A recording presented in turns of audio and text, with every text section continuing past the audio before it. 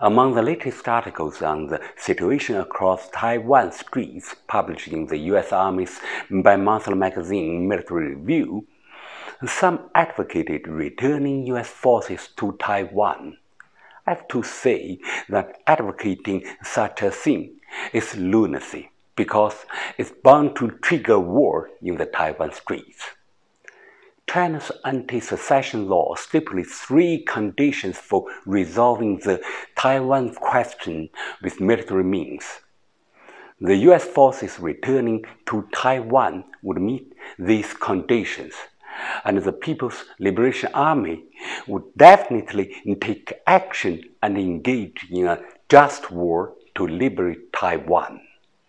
I would like to tell Americans if the US and Taiwan don't take the mainland red line seriously, war will come.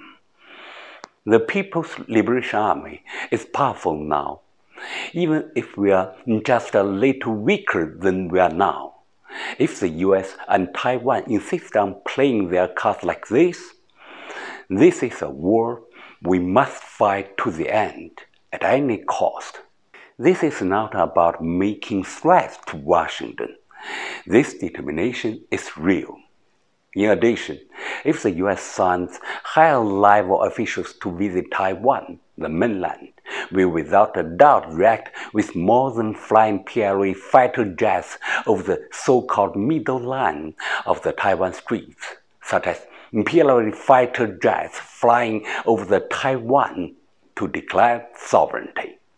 Both the US and Taiwan need to be prepared for a highly intense confrontation.